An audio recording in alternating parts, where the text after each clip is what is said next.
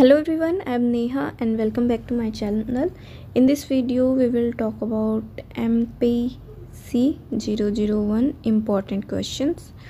और मैं सबसे पहले कि टॉपिक बता देती हूँ कि कौन कौन सा टॉपिक आपको पूरा प्रिपेयर करना है।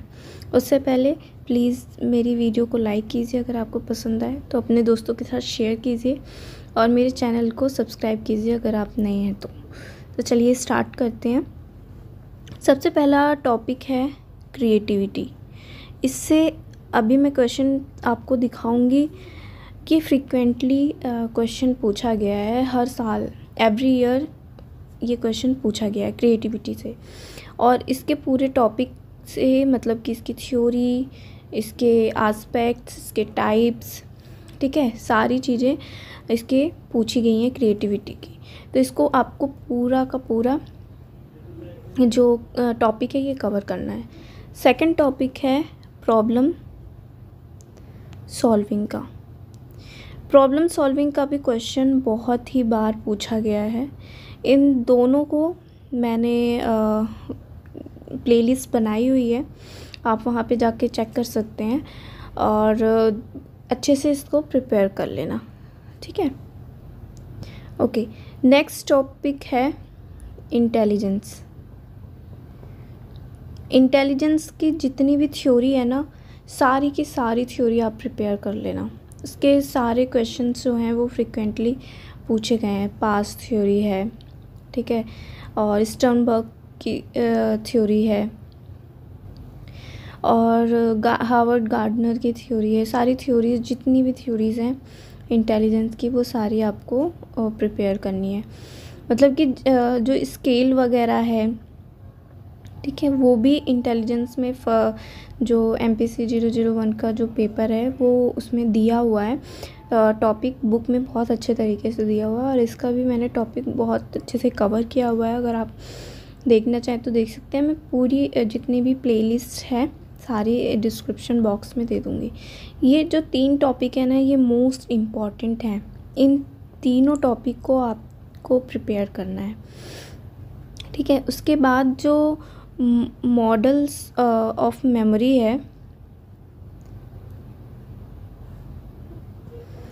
मॉडल्स ऑफ़ मेमोरी है, उसको आपको प्रिपेयर करना है। Okay okay? उसके भी क्वेश्चन बहुत बार रिपीट हुए हैं। और एक क्वेश्चन है की इंपॉर्टेंट की ऑफ़ कॉग्निटिव ठीक है, ये इंपॉर्टेंट एक क्वेश्चन है। और एक क्वेश्चन है जो इन्फो इंफॉर्मेशन प्रोसेसिंग अप्रोच हैं वो बहुत ही ज़्यादा इंपॉर्टेंट है, ठीक है? जितने भी इंफॉर्मेशन प्रोसेसिंग के अप्रोचेज़ हैं, आप उसको प्रिपेयर कर लेना। चलिए अब क्वेश्चन पेपर देख लेते हैं। अगर इतना आप प्रिपेयर कर लेंगे तो मोस्टली क्वेश्चंस आपके उसमें से आ जाएँगे। और जो एक्स्ट्रा क्वेश्चन है, वो आप इस क्वेश्चन पेपर के थ्रू देख सकते हैं। देखिए, अभी मैंने बात की मॉडल की, ठीक है? जो information processing model of memory इसकी बात की।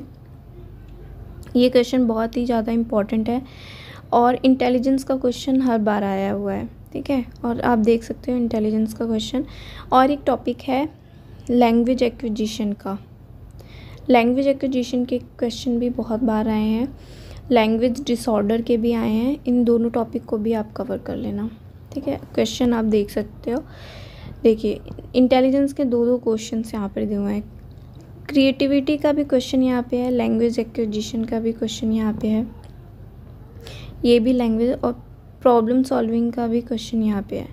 तो ये बहुत बार रिपीट हुए हैं क्वेश्चन जो टॉपिक है आप प्रिपेयर कर लेंगे तो उस टॉपिक से रिलेटेड बहुत सारे क्वेश्चन आए हैं। तो आप क्या करोगे? अगर टॉपिक कवर करते हो तो आप, अगर एक दो क्वेश्चन आते हैं तो आप उसको पूरा कवर कर लोगे। इंडिविजुअल क्वेश्चन मैं इसलिए नहीं बता रही हूँ क्योंकि बहुत सारे क्वेश्चन हैं क्रिएटिविटी से रिलेटेड प्रॉब्लम सॉल्विंग से रिलेटेड इंटेलिजेंस से रिलेटेड क्वेश्चन प्रिपेयर करने से अच्छा है कि आप उस टॉपिक को ही कवर कर लें। ठीक है? अब यहाँ पे आप देखो info information processing in learning and memory multiple intelligence जैसे कि मैंने बताया कि थ्यो जो इंटेलिजेंस की थ्योरी है, ये पूरा आपको कवर करना पड़ेगा। देख सकते हो आप तीन तीन क्वेश्चन यहाँ पर पूछे गए हैं इंटेलिजेंस से। ओके ये ये, और लैंग्वेज एक्विजिशन के भी क्वेश्चन हैं। और जो लैंग्वेज है, इस लैंग्वेज डिसऑर्डर जो होती है स्पीच डिसऑर्डर वो क्वेश्चन यहाँ पर है। मैंने प्रॉब्लम सॉल्विंग का बताया था, ये भी है। You can see aspects of creativity ये क्वेश्चन भी आया हुआ है। नेक्स्ट क्वेश्चन पेपर में आते हैं, देखिए। स्टनबर्ग स्टैरिड की थ्योरी ऑफ़ इंटेलिजेंस ये क्वेश्चन भी आया है। फ़र्स्ट क्वेश्चन भी मेज़रमेंट ऑफ़ इंटेलिजेंस नेक्स्ट है प्रॉब्लम सॉल्विंग का question learning disability language structure ये क्वेश्चन लैंग्वेज से रिलेटेड इंफॉर्मेशन प्रोसेसिंग का जैसे मैंने बताया। वो आप प्रिपेयर कर सकते हो। ये देखो, आप इंटेलिजेंस और क्रिएटिविटी के क्वेश्चंस दोबारा से रिपीट हुए हैं। और ओके नेक्स्ट हम देख सकते हैं।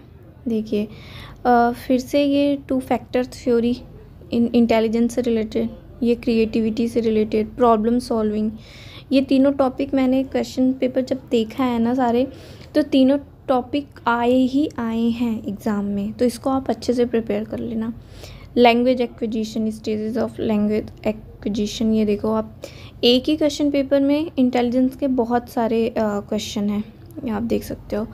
और वॉग एंड नॉर्मन्स का model of primary and secondary memory ये भी है। प्रॉब्लम सॉल्विंग का यहाँ फिर से रिपीट हुआ है। ठीक है? और एक्स्ट्रा क्वेश्चंस आप अपने आप से प्रिपेयर कर सकते हैं लेकिन जो बहुत ही ज़्यादा इंपॉर्टेंट है आपको उस टॉप पूरे टॉपिक को प्रिपेयर करना ही है वो आप देख सकते हो। और क्वेश्चन किस टाइप के आएँगे आप इसमें से देख सकते हो। ये मैं आपको आपके आ, मेरा जो टेलीग्राम ग्रुप है उस पर शेयर कर दूँगी। आप उससे हेल्प ले सकते हैं। ये देखो आप इंफॉर्मेशन प्रोसेसिंग थ्योरी ठीक है? और बहुत सारे क्वेश्चन हैं फिर से यहाँ इंटेलिजेंस का लैंग्वेज एक्विजिशन का टॉपिक रिपीट हुआ है। लैंग स्पीच डिसऑर्डर मतलब लैंग्वेज डिसऑर्डर जो हैं। प्रॉब्लम सॉल्विंग का क्वेश्चन यहाँ पे फिर से रिपीट हुआ है।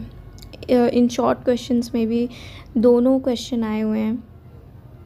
मतलब तीन इंपॉर्टेंट जो मैंने बताया टॉपिक तीनों से ही सेम क्वेश्चन आ गया है। नेक्स्ट है, देखो इंफॉर्मेशन प्रोसेसिंग का।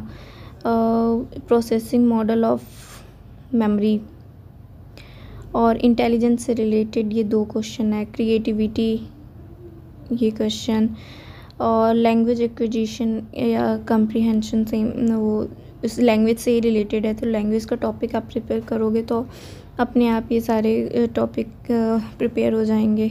ये प्रॉब्लम सॉल्विंग का क्वेश्चन दोबारा रिपीट हुआ है। तो ये मैं, आपको जब मैं इसको शेयर करूँगी तो आप उसमें आप चेक कर लेना। मैं पूरा नहीं दिखाऊँगी। क्योंकि आप खुद से करोगे तो ज़्यादा बेटर होगा।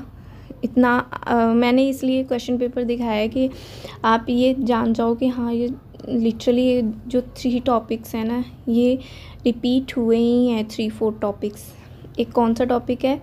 एक इंटेलिजेंस का है क्रिएटिविटी प्रॉब्लम सॉल्विंग और इंफॉर्मेशन प्रोसेसिंग और मॉडल ऑफ़ मेमोरी ये तीन चार क्वेश्चन टॉपिक हमेशा रिपीट हुए हैं। ओके लैंग्वेज डिसऑर्डर का भी आप प्रिपेयर कर लेना। तो आई होप ये वीडियो आपको हेल्पफुल होगी और प्लीज़ लाइक कीजिए शेयर कीजिए, अपने फ्रेंड्स के फ्रेंड्स के साथ भी शेयर कीजिएगा। और अगर आप नए हैं तो प्लीज़ मेरे चैनल को सब्सक्राइब कीजिए। Thanks for watching